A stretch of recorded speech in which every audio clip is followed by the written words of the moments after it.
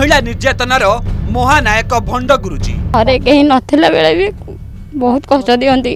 সবরে মোড় সেই মানস দাস তারি পাই আজ আমার ভবিষ্যৎ অন্ধার কিছু বি গোটে কিছু গোটে আমি করি পারুনু মহিলা ও যুবতীঙ্কু নির্যাতনার সাংঘাতিক অভিযোগ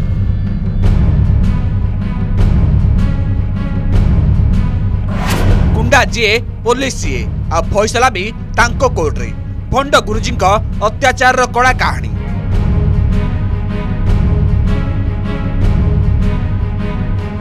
ମାନବବାଦ ନାଁରେ ଗୁଣ୍ଡାଗର୍ଦ୍ଦି ନିର୍ବାଚନ ଭୋଗୁଛନ୍ତି ନିରୀହ ଆଦିବାସୀ ଦଳିତ ନିର୍ବାଚନ ଦଣ୍ଡ ଭୋଗୁଥିବା ଏ ପରିବାର ସବୁ ଖୋର୍ଦ୍ଧା ହଳଦିଆ ଦଣ୍ଡେ ଗାଁର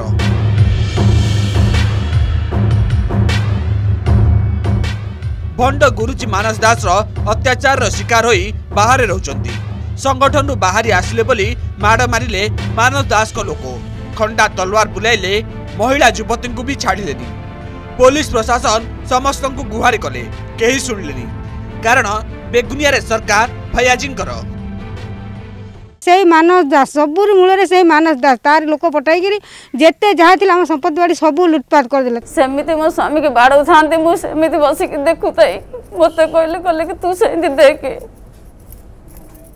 ଏଠୁ କଲେକ୍ଟରଙ୍କ ରିଭାନ୍ସରେ ଯାଇକରି କଲେକ୍ଟରଙ୍କୁ ଜଣାଇଲି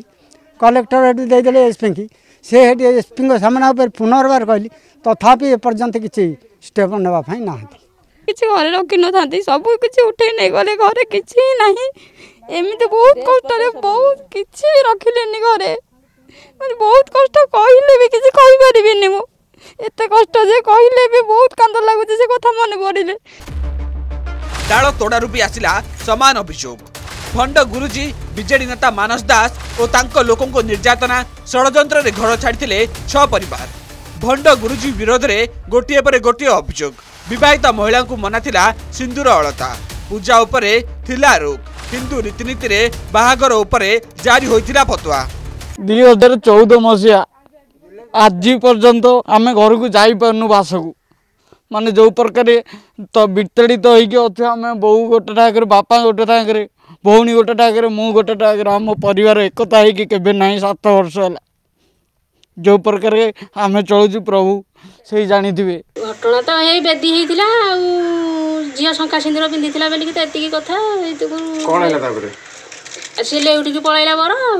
आसते बर पूरा बाहर आगे आसते ନା କ'ଣ କେମିତି ନାଇଁ ବାଜା ଫାଜା କିଛି ବାଜି ନଥିଲା ଆଚ୍ଛା ଖାଲି ସାଧାରେ ହିଁ ଆସିଥିଲା ଖାଲି ଖୋର୍ଦ୍ଧା ନୁହେଁ କେନ୍ଦୁଝରରେ ବି ନାଁରେ ତାଲିବାନ ଶାସନ ଚଳାଇଥିଲେ ବିଜେଡି ନେତା ମାନସ ଦାସ ଏହି ଭଣ୍ଡ ଗୁରୁଜୀ ନାଁରେ ଲାଗିଛି ଦଫା ତିନିଶହ ଦୁଇ ହେଲେ ପୋଲିସ ଧରୁନି ଏହି ବିଜେଡି ନେତାଙ୍କୁ କାରଣ ୟାଙ୍କ ଶରଣରେ ଶାସକ ଦଳର ଅନେକ ହେଭିୱେଟ୍